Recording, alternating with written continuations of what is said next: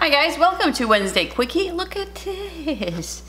We went to the uh, new Asian market in town and I, I love this stuff. I Well, not this stuff, but I've never tried it. Just the stuff in there. I mean, it takes me a, a little while to look at everything. But they have this uh, stuff, Foods of Hawaii. No. Taste the flavors of Hawaii Chinese roast chicken. Seasoning mix. Look at that. Huh? hey, you could do a whole chicken with this, but I'm gonna do uh, some drum drumsticks or drumettes or whatever you call those. I only have four in there because it's just Tom and I. So it says to rinse the chicken and then rub the seasoning mix onto all areas. Let stand approximately uh, 15 30 minutes. I'm gonna put it in the fridge for a couple hours. Uh, so I'm gonna cook that later. But anyways, let's see how much of this I'm gonna use. Really awesome little find there. Look at it. Oh yeah. Whoa. There's something, something sweet or something in there. It smells really strong. Let's see. Yeah, let me do the whole thing. Okay. So I'm gonna massage this through the uh, chicken, put that in the fridge, and I'll meet you in a couple hours and we'll cook this up. We'll be back. All right, you guys, are we ready? Been a couple hours later. This is the Rapid Crisp Air Fryer by DeLonghi. And I'm not gonna oil it or nothing like that. It's already, that skin, that smells so good. And I could probably fit about, probably four more legs in there. But uh, it's got a bottom burner so I don't have to flip the chicken over. Just remember halfway the cook, flip your chicken over so it's getting that crispy skin, you know, from that burner that's up there. Um, I'm going to uh, use the chicken setting on this. It's gonna be lovely. All right, so it tells you all that stuff, how long to cook it. You, you keep your glasses on, Booger. Let me see. Uh, 350. Bake roast chicken for 30 minutes. Okay, so that's what it says, 350. Oh, chicken always takes about 30 minutes, depending on the size chicken. All right, so it's got a chicken function. Let's go to it.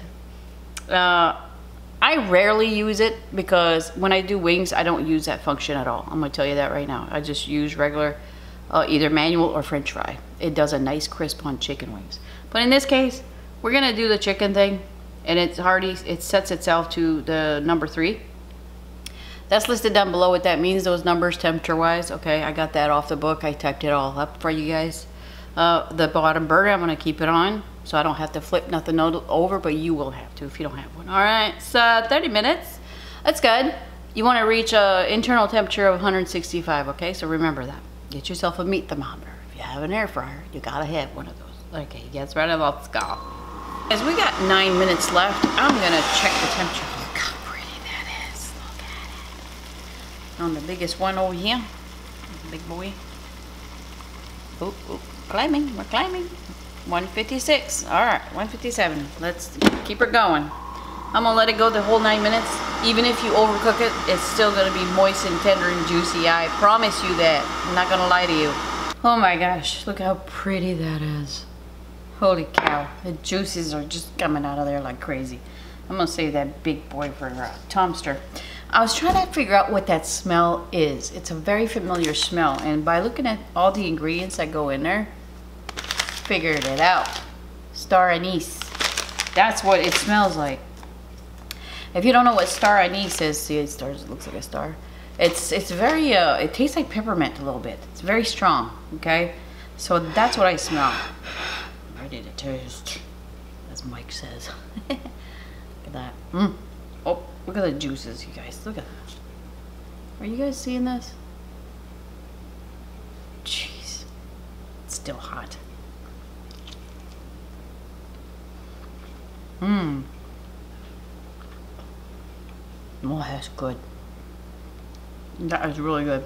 It's stupid moist, like you wouldn't believe. I'm telling you, if you haven't done meat in the air fryer yet, you need to get even a steak, you guys. Everything comes out so freaking... You can't dry out a pork chop. I, I can't even tell you. That is good. I do taste the star anise. Not strong, though. It's just there. But if you're wondering what that, that is, that's what it is. It's very lovely. this would make some good uh, chicken wings actually. So, you guys, if you see this in your um, Asian market store, it's really nice. Foods of Hawaii. Tom, you want to try it? No, not really. I just come to check it out. You don't want to say hi? Oh, hi everyone. But anyways, you guys, it's really good. Um, I think it was like two bucks for this. I saw some other things that I'm gonna try out. I just couldn't help it. I love it. I love trying new stuff. Okay, Tom, say goodbye to everybody. hi everyone. That is very good, you guys. I'm gonna see if Amazon carries it. I'll put a link. Every time I use something and it's on Amazon, I put links to it. I appreciate you guys clicking on those links. It helps my channel out. I mean, Amazon sends me a little gift card every month because you guys go over there. So I appreciate that, all right? Thanks for shopping, guys. Bye.